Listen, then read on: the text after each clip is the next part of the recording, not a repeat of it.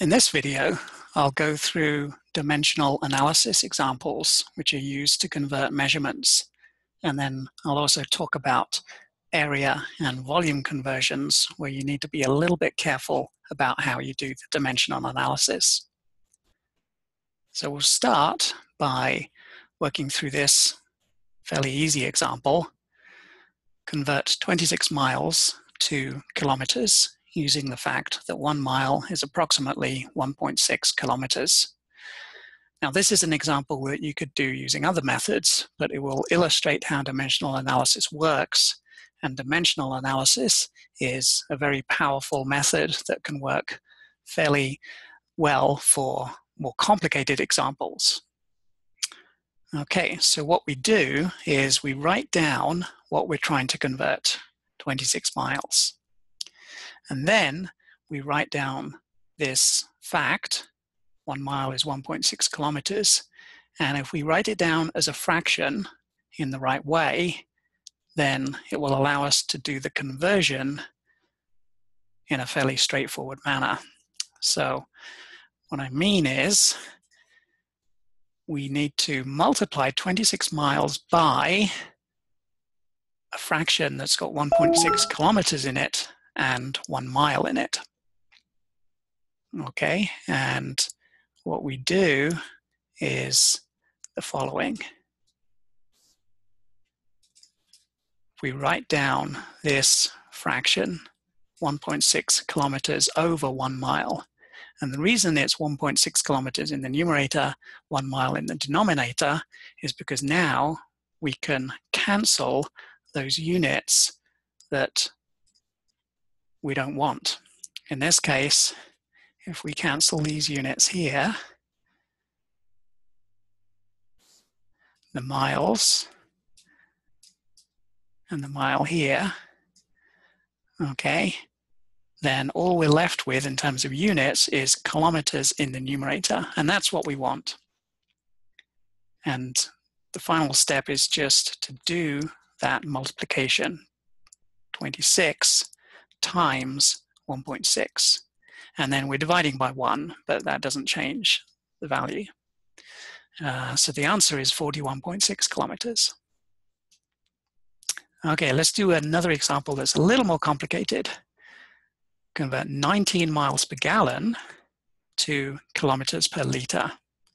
We're going to use one mile is approximately 1.6 kilometers, and one gallon is approximately 3.8 liters and we'll use the same method of dimensional analysis. This time it's going to be a little more complicated because we're going to have to multiply by two fractions.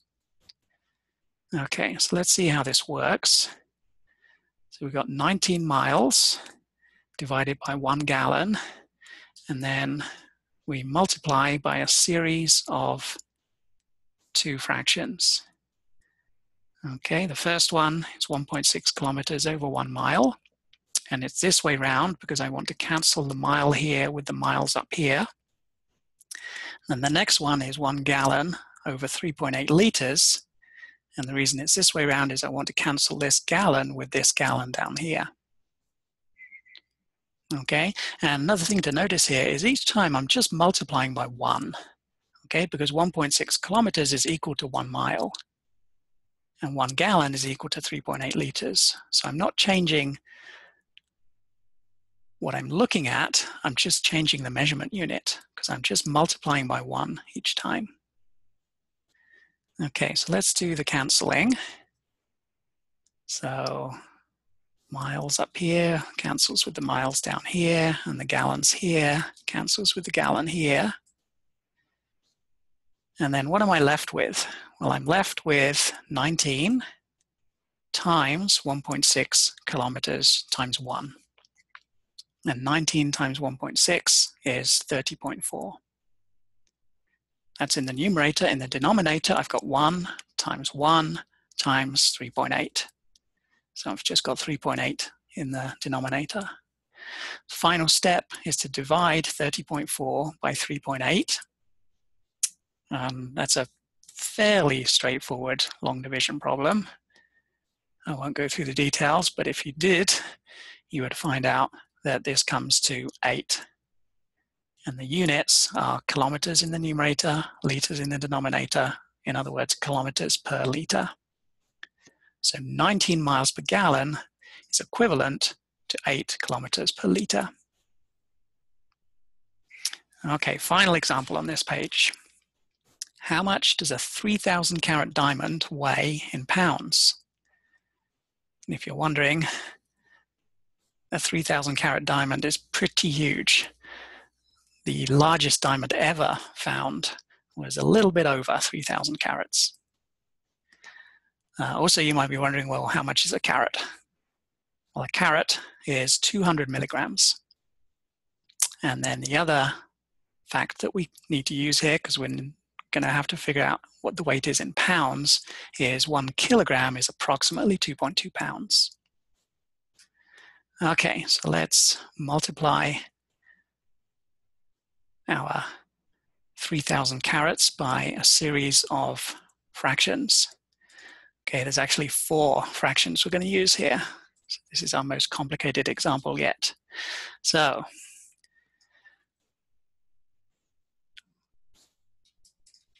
how does this work? Okay, first fraction is 200 milligrams is one carat.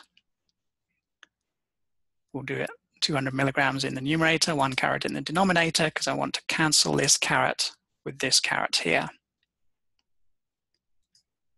Okay, next I need to cancel the milligrams. So if I do a thousand milligrams in the denominator is equal to one gram in the numerator. Next, I want to cancel the grams. So if I put a thousand grams in the denominator and one kilogram in the numerator, then I can do that. And then the final step, I need to cancel these kilograms. I'll put one kilogram in the denominator and pounds, 2.2 pounds in the numerator. Let's just check that we did all the cancelling correctly. So carats cancels with carats, milligrams with milligrams, grams with grams, kilograms with kilograms, and I'm left with, let's see, 3,000 times 200 times 1 times 1 times 2.2. So if I calculate that out, that comes to 1,320,000 and the units is pounds.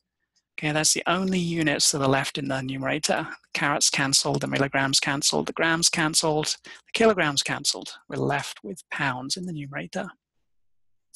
So look at the denominator. We've got 1 times a 1,000 times another 1,000 times 1. And we don't have any units left. Everything cancelled, the kilograms, the grams, the milligrams, the carats. So in the denominator, I've just got a 1,000 times a 1,000, in other words, a million. Final step, do that division, which you should be able to do in your heads. 1,320,000 divided by 1 million is 1.32. So this carat diamond, 3,000 carat diamond, would weigh 1.32 pounds. A pretty huge diamond.